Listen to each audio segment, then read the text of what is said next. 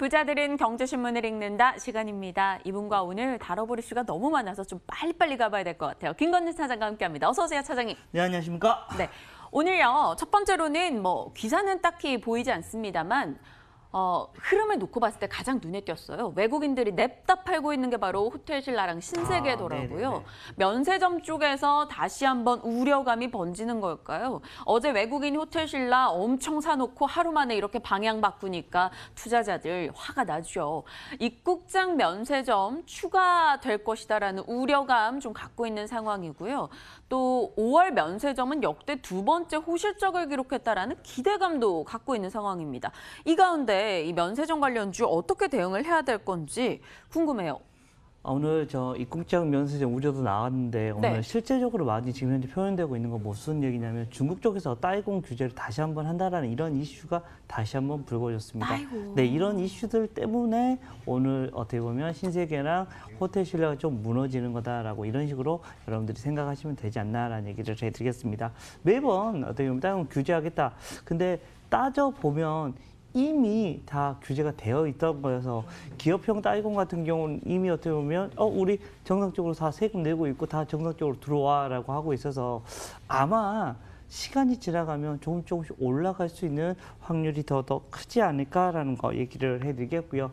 실제적으로 가장 중요한 것은 우리 아나운서님이 이런 야, 언급해 주셨던 역대 최대 실적이 어떻게 보면 지금 면세 실적이다라는 겁니다. 즉 1분기 실적뿐만 아니라 2분기도 실적 잘 나올 것 같아라고 이렇게 표현이 가능하지 않을까라는 생각을 하면 지금 주가 어떻게 보면 오늘 좀 기회 구간이 될 수 있지 않나라는 생각을 해볼 수 있다라는 거 얘기를 해드리겠습니다. 오늘 주가 어떻게 보면 오후 되면 많이 좁히지 않을까라는 생각을 할 수 있을 것 같습니다. 그러면 호텔 신라 신세계 중에 어, 당연히 호텔 신라다라는 거 얘기를 해드리겠습니다. 그러네요. 네. 오히려 하락 시 매수 기회가 될 수 있다라는 판단 내려주셨어요. 호텔 신라 보통 떨어지는 종목군에 대해서 이렇게 긍정적으로 후한 시각 잘 안 주시는데 음, 네, 그렇죠. 네, 호텔 신라 저희 타이밍 한번 노려보도록 하겠습니다. 다음이요. 요거예요. 이슈가 계속 되고 있죠. 한진칼입니다.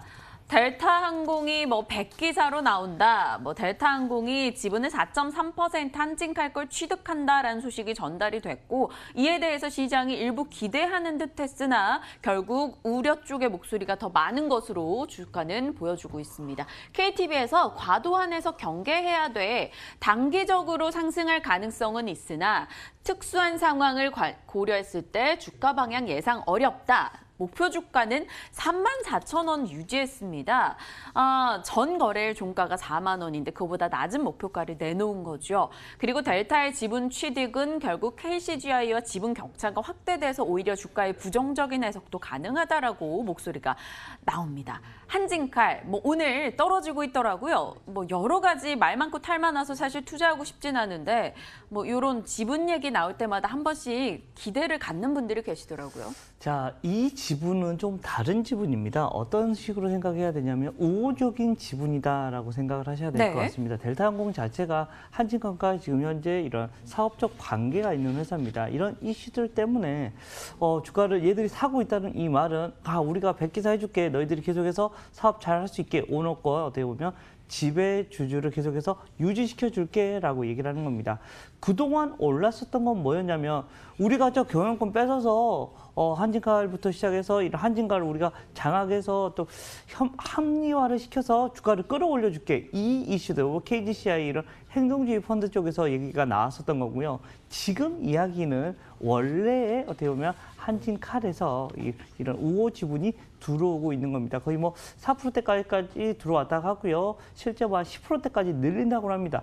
늘리려면 주가를 사야 되니까 이것을 좀 올려야 되기는 합니다. 그렇지만 그동안 어떻게 보면 한진칼이 지금 현재 주가가 올라와 있었던 거는 뭐였냐면 경영권 분쟁이 붙어버릴 거라고 생각을 했었던 겁니다. 근데 이 이슈가 사라져 버리는 거다라는 겁니다. 그렇게 되면 원래 한진칼이 놀던 가격대 쪽으로 하락을 할 확률이 좀 높지 않나라는 얘기를 해드리겠습니다. 어떻게 보면 valuation이 조금 어, 다시 회귀를 할 겁니다. 예전 value로 원상 복귀 프리미엄 있던 것을 프리미엄 주던 것을 그게 없어져 버리면서 주가에는 어떻게 보면 좀 안 좋은 이슈가 돼버리지 않나라는 생각을 하시면 될 것 같고요.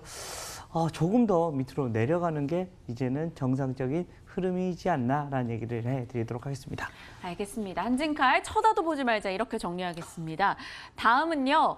어, 서울에서 붉은 수돗물 사태가 벌어졌대요. 이 인천에서 붉은 수돗물 나와가지고 5월 30일부터 해서 계속해서 지금 제 지인도 거기 사는데 생수로 애 씻기고 막 그러고 있다고 하더라고요. 네네네. 근데 이제 물레동 일대에서 민원이 붉은 수돗물이 나온다라고 제기가 됐습니다. 그러다 보니까 뭐 시장에서는 씁쓸하게도 이런 이슈 속에 늘 수혜주를 찾잖아요. 강관주가 올라갈 것이다. 지하 수도관, 뭐 가스관 이런 것이 이제 교체되는데 정부가 4년간 큰 돈을 투자한다라고 이슈가 나오면서 관련해서 이 올라가는 종목들이 있습니다. 대표적으로 한국주철관인데요. 수도나 가스 배관 강관을 생산하는 업체 오늘장에서도 급등 기록하고 있습니다. 이뿐만 아니라 강관주 대다수가 오늘 빨간불을 켜고 있는데요. 아, 만약에 정부의 저 돈이 정말 투입이 된다면 어, 사볼 만하지 않을까라는 생각은 드는데요. 아니에요? 아니요, 뭐 우선은 들 수는 있습니다. 네. 그런데 단기파가 되지 않을까라는 겁니다. 그냥 올라가는 동안은 같이 매매를 해봐도 된다. 그렇지만 이게 멈춰버리는 순간이 올 겁니다. 그러면 거기까지다라는 거. 어떻게 보면 단기적인 이슈다라고 생각을 하시면 될 것 같습니다. 물론 이 빨간물, 어떻게 보면 빨간 수돗물이 이런 얘기가 계속해서 나오면 정말 좀 여러 가지 이슈가 될 수는 있습니다. 그렇지만 단기적으로 오늘 아침에 붙어보는 건 오케이가 됐었겠지만 아. 이미 올라와 이- 있어 버리는 이런 여기서는 굳이 아마 분명히 시간이 지나면 다시 회귀가 될 겁니다. 이게 계속해서 돈을 벌수 있는 이런 이슈는 아니잖아요. 어떻게 보면 어, 그렇게 되면 다시금 어, 주가는 회귀할 수가 있다. 물론 지금 현재 이슈가 되고 있으니까 지금은 관심 가져도 됩니다. 그렇지만 작게 잡아야 됩니다. 분명히 손절 라인 같은 경우는 확실히 짧게 잡아야지 의미가 있다라는 생각을 하시면 될 것 같고요. 단기 대응이 어떻게 보면 가능한 영역이다라고 여러분들이 확인하시면 될 것 같습니다. 굳이 지금 뭐 따라가는 이 종목을 따라 붙어볼 필요는 없을 것 같다 이렇게 얘기를 해주셨고요. 다음으로 또 궁금한 게 오늘 종목 얘기 많죠, 차장님. 아닙니다. 네. 서울반도체인데요. 오늘 외국의 외국인이 정말 많은 금액을 이 종목으로 매도하는 모습이 포착이 되고 있습니다. 일단 한동안 내려오다가 다시 조금 올라오길래 어, 분위기 다시 나아지나 했는데 또 오늘 급락을 맞았어요. 외국인은 매도하고 2분기 실적 안 좋을 거야 라고 이야기가 나왔습니다. 서울 반도체 언제쯤 이 본인들이 판단은 조명처럼 반짝일 수 있을까요? 아 반짝반짝 빨리 빛났으면 좋겠는데 한참 우리가 서울반도체 좋아할 때가 언제였냐면 LED에 대한 얘기가 나올 때였습니다.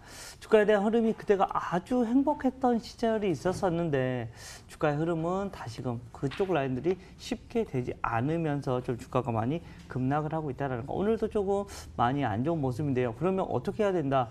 지금은 17,000원 이 라인이 중요해 보입니다. 17,000원이 지지가 되면 다시 움직여 줄 수 있다. 그렇지만 앞에서 우리 아나운서님이 얘기해 주셨던 것처럼 2분기 숫자가 안 좋답니다. 2분기 숫자 발표를 언제 할 것인가를 먼저 확인하셔야 될 것 같고요. 그 이후에 여러분들이 좀 더 대응하시는 게 좀 더 편할 것 같다라는 겁니다. 그리고 어찌됐든 기술적으로는 17,000원이 좀 지지 여부가 나오거든요. 그래서 그 라인, 그 라인을 지지해 주면 좀 더 관심을 좀 더 그때부터 가져보자. 근데 그 전까지는 우선은 B라는 얘기를 드리겠습니다.